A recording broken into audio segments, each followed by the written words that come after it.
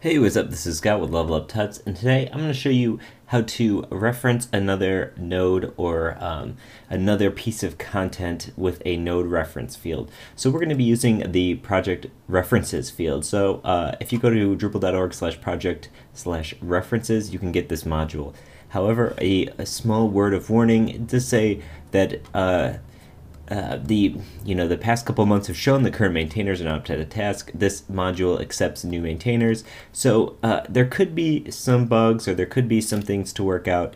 And it also said that they might be dumping this module in favor of entity reference. Since right now uh, I haven't had any problems with references and it works for what we're trying to do. I'm going to show you how to use references and in the future we'll go over entity reference, okay? So check out references and uh, download the latest version.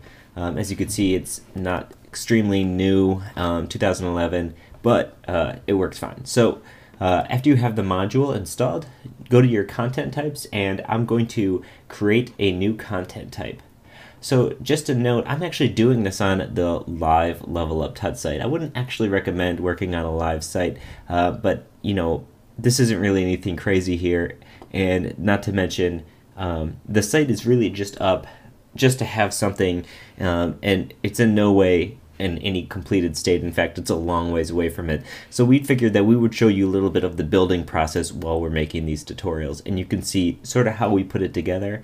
Okay, so I'm going to make a content type, and this content type is going to be called courses. So the way we have the tutorials right now is, let's say we have like 50 some Drupal tutorials, and they go in an order, but the order isn't always uh, you know, some of the times there's like three views tutorials in a row, and then we'll do something else, and then three more views tutorials. So we want to have all those views tutorials together in one course. And the way I'm going to accomplish that is by creating a content type called course with node references um, that link the classes to the course. So I'm going to give this a course title. I'm going to turn off commenting for now. I might turn on Disqus commenting later, uh, depending on what people want for the site. And I'm going to save and add fields.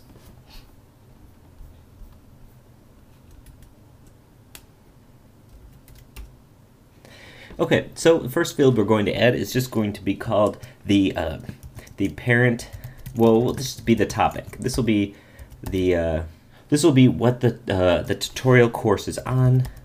So this is going to be field topic, and then I'm going to pick a node reference field. Um, in, in, our modules, you just want to enable all of the references modules. I'm sorry, actually skipped over this part.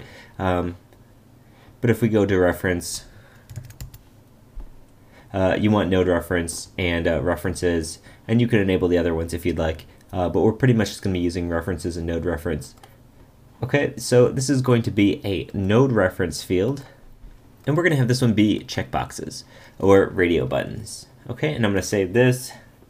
And now we're going to add some of the things here. We want this to be able to have more than one topic. Let's say it relates to um, CSS and Drupal or something. We want to have it to be able to be under both of those. So we'll say that it can pick its uh, what content types can be referenced. We're going to say that uh, category pages can be referenced. So what category pages are in our site is a category page is like Drupal, WordPress, Magento. Um, and so these are the sort of blanket topics. And then the courses is what we're doing right now, and the videos are individual videos. Okay, so we'll save this field settings, can only use category pages, and um, there's no default value. However, it can use multiple values if we'd like.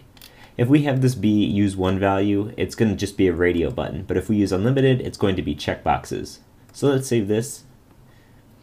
And let's add another node reference. This is going to be uh, included videos. So we'll just have this be uh, videos, um, course videos, and then actually I'm going to name this course just to keep things consistent. And then field type is also going to be a node reference. However, this time it's going to be an autocomplete text field. And we'll show you exactly how that works in a second. I'm going to save and add this, and I'm going to only allow content types that are videos, or content that's a video to be in this. And we're going to have number of values be unlimited, because we want to have as many videos that's related to this course as possible. Let's save this, and now we can start adding some content. Let's go to add content and I'm going to add a new course. And this course is going to be on views. So I'm going to write views here. And then, uh, in you know, and later I'm going to have like a description in body, but we'll just leave it blank for now. And we're going to say this is a Drupal tutorial and course videos. Now what I can do is start typing views, and you'll see anything that comes up with views. These are all the tutorials we've done on views. They'll pop up here. So I'm going to click this one, and now it's relating this node number 423 to our uh, course. So let's add another one. Yeah, all you have to do is click to add another item. And then I'm going to keep going on all of these. In fact, I'm only going to do a couple of them right now, and I'll go back and add them on my own time because you don't need to see me just go and add more tutorials like this. Uh, but let's keep it like that. And I'm not going to worry about a menu link right now. I'm going to save this piece of content. And now let's check out our content. The way it outputs it by default here is here's our page is views and uh, since we didn't modify any the, the display or anything, our topic is going to be Drupal tutorials. What that does is it links to the Drupal tutorials page, which again, like I said, this site is, you know, at not even close to being in, uh, you know, working or viewable condition here, but uh, just bear with me here. And then let's go back here. Core videos are going to be any of these. You can click on those, and what it does is it links you right to that content. And here's that tutorial with its description and its Disqus comments.